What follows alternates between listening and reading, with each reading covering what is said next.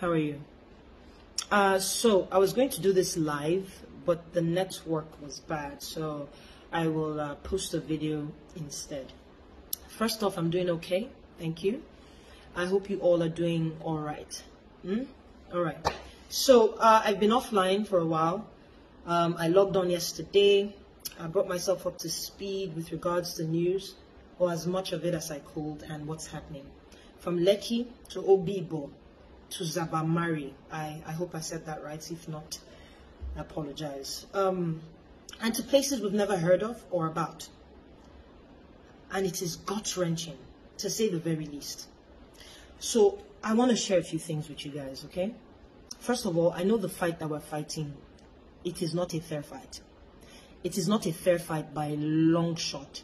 We're up against people that have all the power, that have all the money, resources, access. They control all the security arms. Corruption is, is the order of the day. Lies on top of lies on top of lies. Lie will not kill Muhammad. It is like being thrown into a gunfight with a stick. How do you how do you win? How do you win a fight like that? So yes, it's very demoralizing. On the other hand is our movement. Oh boy, to see pictures of dead people on your timeline non-stop all day. Hear stories of people and survivors and victims and one has lost his leg, the other one his arm. Oh boy, it is depressing. Mentally, spiritually, emotionally, physically, it is depressing. I get it. And so we, we switch off. No pun intended. We tune to something else. You know, how am I going to make my next daily bread? We join in a in one of these artist wars, club wars, club wars, Twitter wars. Who wore it better? But please allow me to remind you of the people who cannot switch it off, who do not have the luxury to debate with us in these Twitter wars, who can never ever again in their life think of how to make their next daily bread. Please allow me to remind you of the real heroes that died for me, that died for you. Look, there are two options as I see it. One I like to call the short-term option. The second one I call the long-term option.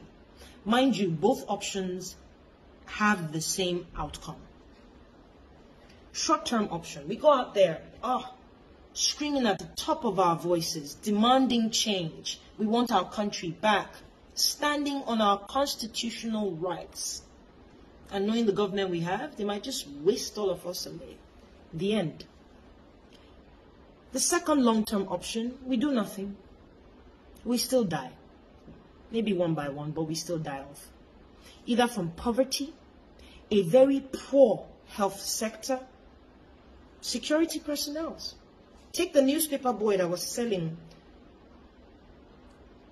his newspaper by the side of the road. And the security personnel of a speaker shot him, side of the road, trying to earn his living. Dead. For what? I saw a video of mothers that new new mothers that were put outside the hospital because to be honest the reason is not even worth mentioning because of the poor health system. Guys, listen. I understand that we're angry and we express how we can. We say 600 years for you. Shango strike you. How do your children feel? You will not sleep well tonight. In fact, you will be seeing in your dreams. Can you call Allah that Jesus this Shango strike you? I understand that's how we can express ourselves. But let me tell you something that might be hard for you to swallow. You and I are most likely to die before these people, before these leaders. Barring things like a pandemic and you know, earthquakes and all that that can just kill anybody. Doesn't care who you are. But you and I are most likely to die before our leaders. I'll give you an example. These people, with all the money that they've stolen, have access to the best medical care that money can buy. In fact, they do their checkups. If anything even wants to, as much as develop, they stop it right there. What do you and I have? What type of, what type of health system can you and I brag about? People die in the hospitals. The boy that, that got his leg cut off, it didn't have to be if proper medical procedures and, and attention was, was, was paid. Or maybe he just doesn't have the money. Here's another example security. All these our leaders are well guarded by mobile policemen, policemen, even the army guard a lot of these our leaders. Before armed robbers will go and rob those people, they will come to me and your house first. Who do we have guarding us? I can go on. Use Lagos as an example.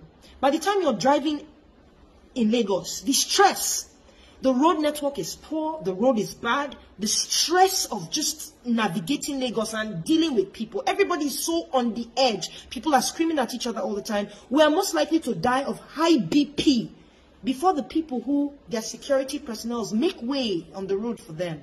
They're probably in the back seat reading a newspaper on the phone with their wives. They don't even know what's going on. You say peace of mind, they have peace of mind. Do not be mistaken for one second that you think these people don't sleep well.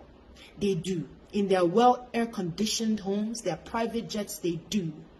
Nothing wrong with these things if they were gotten legally, if they were well deserved. I could go on with so many examples, but I'll leave it there. So pick one, long term or short term, because it's the same outcome. Nobody should be forced to do anything. I don't believe that. Don't have to be forced to go out or stay indoors. Everybody's trying to stay alive. So it's very understandable. Everybody knows their own problem. But please, as I said in the beginning, these people have all the power, money, resources, access. It is only one power we have. And our power is just, our power is right. It is our voice. Our voice. And we must use it in whatever capacity that we can. We must use our voice. You see, when we don't see EndSARS on the Twitter trend, take for example, EndSARS, this is how I see it. It's like a key that opened a door to a big warehouse. Hmm? Palliative gang, come through. And in that warehouse is all the problems plaguing Nigeria. At least the ones we're aware of.